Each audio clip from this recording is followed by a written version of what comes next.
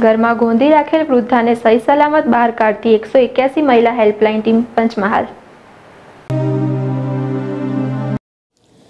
પંચમહાલ જિલ્લાના હાલોલમાં એક મકાનમાં વૃદ્ધાને પૂરી રાખેલ છે. તેઓને બહાર કાઢવા અપીલ કરતા અભયમ એકસો એક્યાસી મહિલા હેલ્પલાઇન ટીમ પંચમહાલ તાત્કાલિક પહોંચી.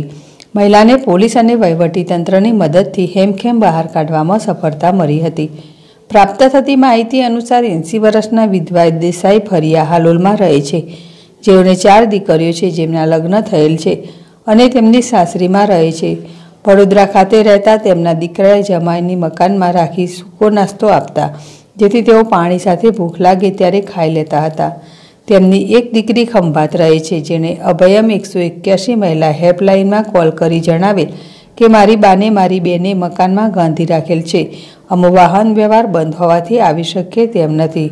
તેઓ કેટલાય દિવસથી ભૂખ તરસ વેઠી રહ્યા છે, જેથી અભયમ ટીમ તાત્કાલિક પહોંચતા મકાનને લોક હતું અને અંદર વૃદ્ધા હતી, જેથી અભયમ ટીમે પોલીસે અને વહીવટીતંત્રને બનાવની જાણ કરતા સૌ દોડી આવી મકાનનું લોક તોડી વૃદ્ધાને બહાર કાઢ્યા હતા. વૃદ્ધાએ જણાવેલ કે, મારી કોઈ આશ્રય નથી, જેથી તેઓને કાંકણપુર વૃદ્ધાશ્રમમાં રાખવાની તજવીજ હાથ ધરવામાં આવેલ છે. કિરણ ગોહિલ જેડેશ ટીવી પંચમહાલ.